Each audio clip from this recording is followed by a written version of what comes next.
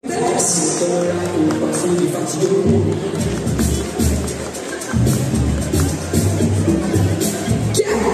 οι τρεις ομάδες